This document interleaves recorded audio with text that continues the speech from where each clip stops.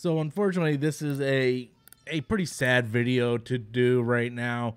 Um, we lost another great icon. This time it's the legendary voice actor Kevin Conroy, who many of us look at as the definitive Batman, who voiced the character for most of our childhood, and a lot of us grew up with this this actor Kevin Conroy basically being our version of Batman.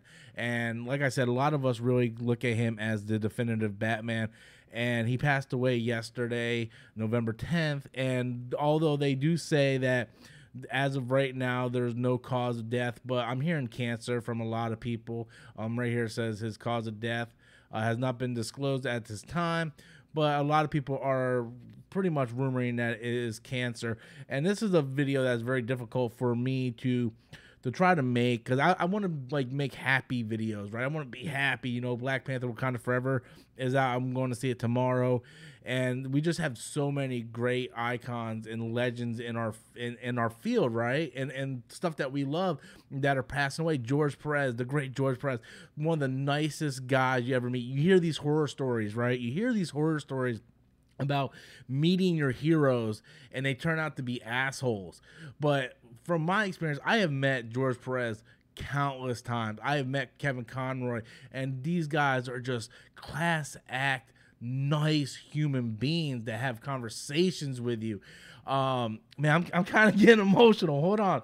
Um, but yeah, and, and, George Perez lost his life to cancer um, not too long ago, and now Kevin Conroy. And like I said, you hear these horror stories where you meet your your your heroes and they turn out to be just dickheads. And Kevin Conroy and George Perez, Kevin Conroy was so nice, so nice. Every time I talked to him, um, he was such a great guy. And it, it's sad, you know. Like I said, he's a definitive Batman to a lot of us who grew up with him on the Batman anime series. He's done a lot more of the animated movies. He showed up in a couple of the, the CW crossover things. So this to see him lose his battle at the age of 66, man. And this is especially hard for me because um a few months ago, about three months ago or so, uh, I lost my mom from cancer. She had stage four lung cancer. Um, I lost my aunt the same week, and then my aunt passed away on one day, and then three days later, my mom passed away, um, both from cancer and it's been really hard this past year because not only did I lose family members like my mother, I also lost two really close friends of mine earlier this year. So it's it's like every time you turn around, just something really bad happens, and um, yeah, it's it's it's it's rough, man. It's rough. But with Kevin Conroy, I think you know his legacy will surpass you know anything like like five years from now, we will remember Kevin Conroy.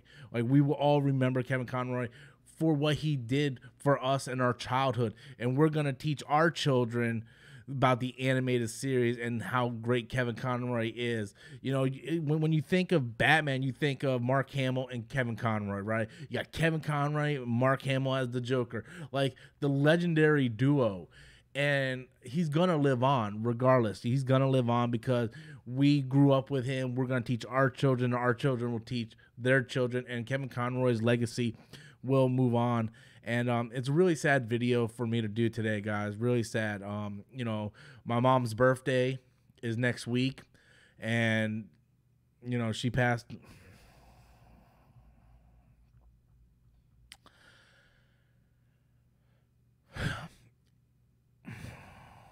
it's it's not easy.